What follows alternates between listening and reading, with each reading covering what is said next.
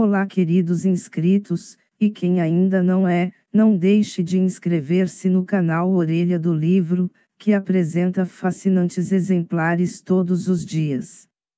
Hoje teremos o seguinte: Livro, Poder e Manipulação, a versão moderna de O Príncipe de Maquiavel. Por Jacó Petri. Esta obra aborda 20 das lições mais valiosas extraídas de O Príncipe, de Maquiavel, adaptadas ao mundo moderno.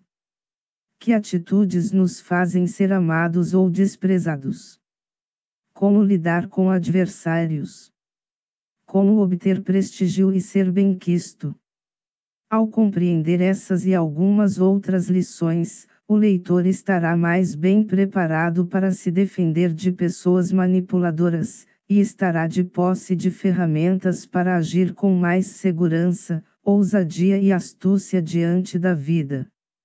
Deixe seu like, compartilhe, ative as notificações e boa leitura. Até a próxima!